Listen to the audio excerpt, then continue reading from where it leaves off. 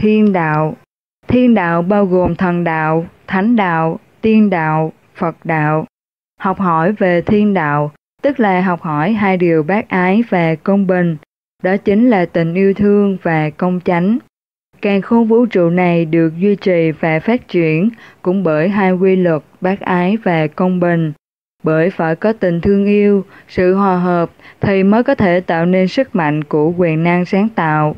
Nếu không có sự tồn tại của hai điều trên thì vũ trụ sẽ chuyển động một cách hỗn độn, không có trật tự. Các loài chỉ biết sâu xé nhau, dùng sức mạnh để làm nền tảng cho sự phát triển thì vũ trụ sẽ đi dần đến bờ hoại diệt. Vì lẽ đó mà bác ái, công bình là đề thi rất quan trọng trong thời buổi hạ nguyên mạc kiếp này. Chính loài người, nhờ vào sự tiến bộ của khoa học kỹ thuật, trí não tinh thần phát triển, đã làm cho đời sống vật chất của nhân loại trở nên quá dễ dàng. Sự đầy đủ tiện nghi đã làm cho con người trở nên lười biếng, sống thụ động.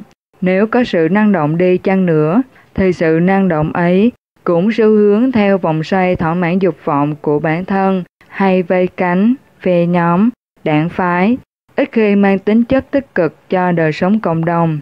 Bên cạnh đó, thì phương diện đạo đức của đời sống tinh thần đã dần trở nên mờ nhạt. Con người đã không còn tin tưởng vào những điều kỳ diệu của thế giới tự nhiên. Họ chỉ tin vào cái được gọi là khoa học thực tiễn. Nếu không có chứng minh cụ thể thì hoàn toàn không tin. Nhưng làm sao có thể chứng minh cụ thể sự tồn tại của cái gọi là vô hình?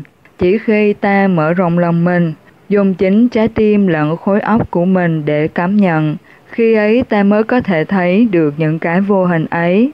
Một ví dụ cụ thể, làm sao ta có thể thấy được tình cảm, nó không hình, không tướng, không màu sắc, mùi vị, nhưng ta có thể thấy được nó bằng cách cảm nhận những hành động mà nó chi phối, thể hiện ra bên ngoài.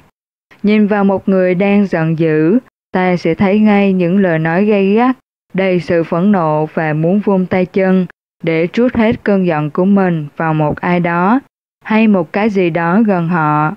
Nhưng khi nhìn vào một người đang yêu, ta sẽ thấy được những hành động của họ thật dễ thương, vừa vui vẻ mà bối rối, đặc biệt là khi ở gần người họ thích. Khi yêu chân thật một ai đó, thì ta dễ dàng tha thứ và bỏ qua những lỗi lầm của họ. Những việc họ làm thì việc gì nhìn cũng đáng yêu cả. Nhưng ngược lại, khi ghét một ai đó, thì những gì thuộc về người đó, những điều họ nói, những việc họ làm, tất cả đều không thể chấp nhận được.